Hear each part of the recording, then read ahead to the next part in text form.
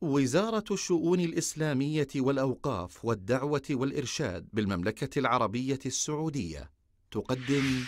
لو أنزلنا هذا القرآن على جبل لرأيته خاشعا متصدعا من خشية الله.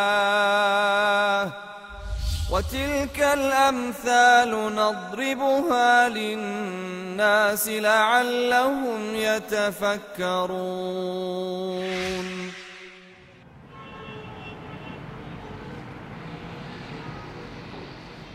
حياكم الله وبياكم إلى برنامجكم آيات والذي ستتوالى حلقاته بإذن الله تعالى مشتملة على تأملات وهدايات في قصص القرآن الكريم. ذلك القصص الذي فيه من العظات والعبر ما الله به عليم. إن الحمد لله نحمده ونستعينه ونستغفره ونعوذ بالله من شرور أنفسنا ومن سيئات أعمالنا. من يهده الله فلا مضل له ومن يضلل فلا هادي له وأشهد أن لا إله إلا الله وحده لا شريك له وأشهد أن محمدا عبده ورسوله. اللهم صل وسلم وبارك على نبينا محمد وعلى آله وصحبه أجمعين.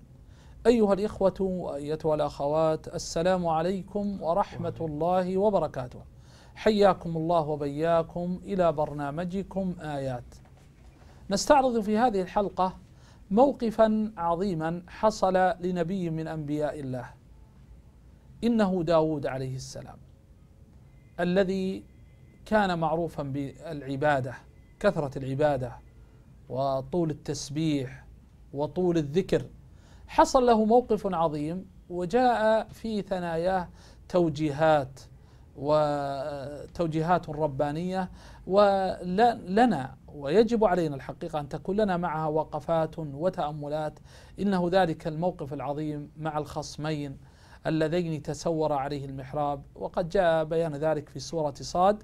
آه، نستمع لهذه الآيات الكريمات من أخينا الشيخ آه، الفاضل إبراهيم بن راشد الفشني آه، الإمام والخطيب بوزارة الأوقاف المصرية.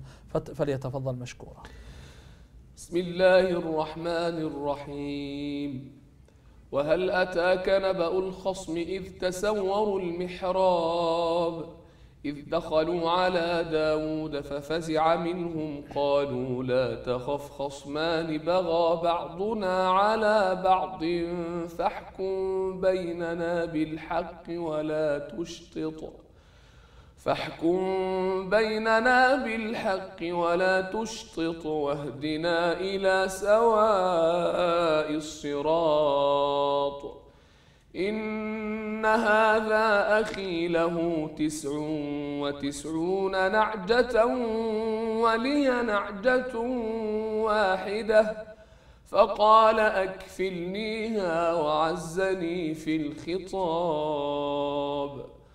قال لقد ظلمك بسؤال نعجتك إلى نعاجه وإن كثيرا من الخلطاء ليبغي بعضهم على بعض إلا الذين آمنوا وعملوا الصالحات وقليل ما هم وظن داود أنما فتن ففتناه فاستغفر ربه وخر راكعا وأناب.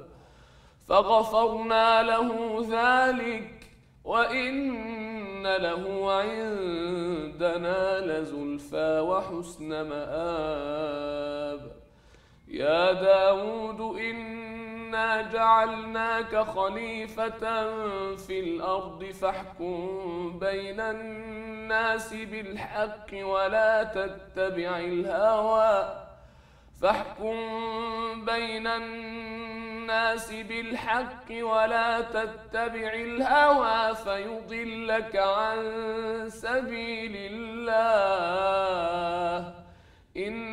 الذين يضلون عن سبيل الله لهم عذاب شديد بما ييأسوا يوم الحساب.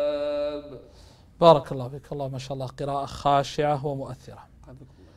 الحقيقة أن هذه القصة تحكي لنا هذا الموقف العظيم الذي حصل لداود عليه السلام.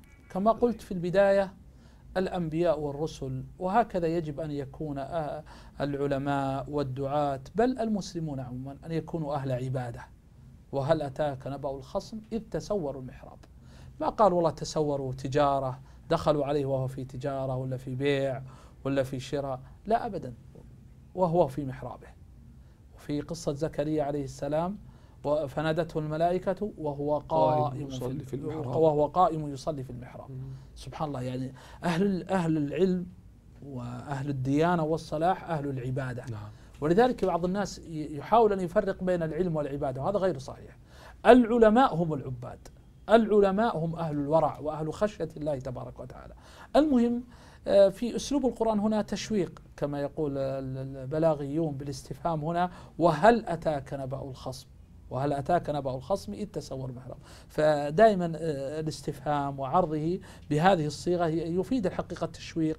وهل أتاك ما هو نبأهم؟ ما خبرهم؟ ما قصه الله عز وجل علينا في هذه الآيات الكريمة. وهل أتاك نبأ الخصم؟ إذ تسور المحراب. هذا اثنان خصمان يتخاصمون. واحد عنده 99 نعجة واحد عنده نعجة واحدة. فقال أكفنيها وعزني في الخطاب. آه، فقال لقد ظلمك بسؤال نعجتك إلى نعاجة. يعني كيف يطلب منك نعجة واحدة آه، تضم إلى 99 نعجة؟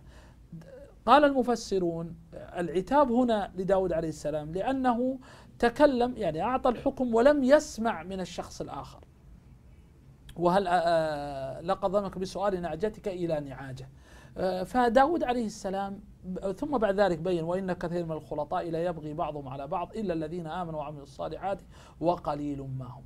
فظن وظن داود أنما فتناه فاستغفر ربه.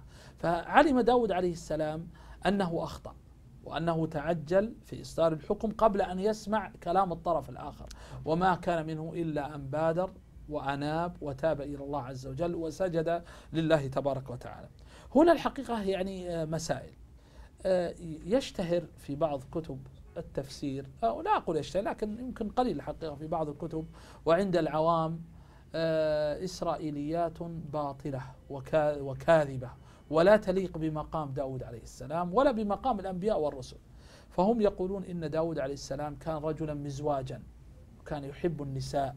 سواء زواج أو ملك يمين أو الله أعلم المهم يقولون فكان عنده 99 امرأة وأنه أعجبته زوجة آه، أحد الجنود فقال لرئيس آه، الجيش إذا دخلتم المعركة فاجعل هذا الجندي في أول المعركة حتى يقتل ويأخذ نعم. زوجته ويتزوجها فكأ يعني يقولون فكأن النعاج وما النعاج هي النساء وهذا في التلميح إلى داود انتبه أنك أخطأت. وهذا كلام باطل وقبيح نعم. لا يليق بمقام داود عليه السلام ولا بمقام الأنبياء والرسل. كيف يقال أنه يريد أن يقتل واحد من الجنود من أجل أن يتزوج زوجته؟ هذا كلام باطل وهذا من الإسرائيليات الموضوعة الباطلة السيئة التي لا نقبلها ولا نقرها بل ننزه مقام الأنبياء والرسل عن مثل هذا الكلام. المهم يعني في قصته سبحان الله جمل عظيمة في هذه القصة آه، تستحق آه، آه، التوقف. يقول هنا وإن كثيرا من الخلطاء لا يبغي بعضهم على بعض إلا الذين آمنوا وعملوا الصالحات. وسبحان الله صدق. صدق الله عز وجل. ربنا. أن أن أن كثير من الشركات الآن اللي تحصل بين الناس دائما يصير فيها أخطاء يصير فيها مشاكل ودائما يصير في النهاية شكاوى وتصل محاكم إلا الذين آمنوا وعملوا الصالحات وقليل ما هم. أين من يخاف الله عز وجل إذا كان مع شريك له فلا يبغي عليه ولا يأكل حقه ولا ولا, ولا. ولذلك النبي صلى الله عليه وسلم قال في البيع قال فإن صدقا وبينا بورك لهما في بيعهما وإن كذبا وكتما محقت بركة بيعهما نسأل الله العافية. فأنا الذي أقصده سبحان الله يعني وهذا ما قال صدق. فعلم آه، داود عليه السلام أنه أخطأ في مثل هذا المقام فاستغفر ربه وخر راكعا وأناب. وهكذا يجب على المؤمن إذا أخطأ إذا زل أن يستغفر الله عز وجل. نعم. أستغفر الله وأتوب النبي صلى الله عليه وسلم كان يستغفر الله في اليوم سبعين مرة في بعض الروايات مئة مرة. وهو الذي قد غفر له ما تقدم من ذنبه وما تأخر. فنحن أولى أن نستغفر الله وأن نتوب إلى الله وأن الإنسان متى ما وقع في الخطأ خلاص يقلع يقلع عن الذنب. في سورة آل عمران والذين إذا فعلوا فاحشة أو ظلموا أنفسهم ذكروا ذكروا الله فاستغفروا لذنوبهم. لذنوبهم. ومن يغفر الذنوب إلا الله ولم يصروا على ما فعلوا وهم يعلمون. ولذلك يقول ابن القيم رحمه الله إقامة العبد على الذنب وهو يدعي التوبة توبته مغشوشة. لأن الإنسان إذا إذا كنت تريد أن تتوب إلى الله فأقلع عن ذنبك. أقبل على الله تبارك وتعالى. خر راكعا وأناب. خلاص أناب إلى الله عز وجل. استغفر الله عز وجل وخر وأناب وتاب وكل شيء فعله. لما أحس أنه تعجل في إصدار هذا الحكم ولم يسمع من الطرف الآخر. ثم تأت ولذلك هذه سجدة العلماء اختلفوا فيها. هل هي سجدة تلاوة أو سجدة شكر؟ آه، الحقيقة الراجع عند أهل العلم أنها سجدة تلاوة. وبعض أهل العلم يرى أنها سجدة شكر ولا يسجد عندها لكن الراجح عندما نقول راجح معنى أن المسألة فيها خلاف ونحن نحترم يعني قول الآخرين ممن يرون نعم. الرأي الآخر لكن الراجح كما قلت أنها سجدة تلاوة. فغفرنا له ذلك وإن له عندنا لزلفى وحسن مآب. شوف التعبير بالفاء كما يقول العلماء الفاء للدلالة على الترتيب والتعقيب. يعني أن الله عز وجل غفر له مباشرة وهذا يدل على مقامه الكريم ورفعة منزلته عند الله تبارك وتعالى. وإن له عندنا لزلفى منزلة ومرتبة علية وحسن مآب مرجع عظيم. ثم بعد ذلك يوجه جاء التوجيه العظيم لداود عليه السلام وللناس جميعا. يا داود إنا جعلناك خليفة في الأرض. فاحكم بين الناس بالحق ولا تتبع الهوى فيضلك عن سبيل الله. الله أكبر. الهوى هوى يضل صاحبه ويحيد عن قبول الحق. ولذلك الله جل وعلا عد الهوى إلها يعبد من دونه. أرأيت من اتخذ إلهه هواه. هواه. أفأنت تكون عليه وكيلا؟ فالهوى نسأل الله العافية عندما الإنسان يتبع هواه في الحكم على الناس. في تعامله مع زوجته في تعامله مع أولاده في تعامله مع الناس في الأخذ والعطاء في البيع والشراء في كل شيء. هذا الهوى يردي الإنسان. وما سمي الهوى هوى إلا لأنه يهوي بصاحبه في نار جهنم. نسأل الله العافية. ولا شك أن اتباع الهوى يضل الإنسان عن سبيل الله. يجعل الإنسان أعوذ بالله يتخبط. ولذلك كان علي رضي الله عنه يقول أخ إنما أخاف عليكم اتباع الهوى وطول الأمل. قال أما اتباع الهوى فيصد عن الحق وأما طول الأمل فينسي الآخرة. الله. فنسأل الله العافية إذا وقع الإنسان في الهوى وفي طول الأمل ضاع عليه خير الدنيا والآخرة لأنه في الدنيا يعني كما اتباع الهوى يصد عن الحق. لا يقبل الإنسان لا نصيحة لا أمر بمعروف لا نهي عن منكر لا شيء من ذلك. وإن طال أمله في الدنيا أيضا نسي الآخرة ولم يعمل لها. فلا شك الحقيقة أن اتباع الهوى له مضاره وله آه، يعني مساوئه آه، وله آثاره. ولذلك يجب الحقيقة أن نحذر من اتباع الهوى.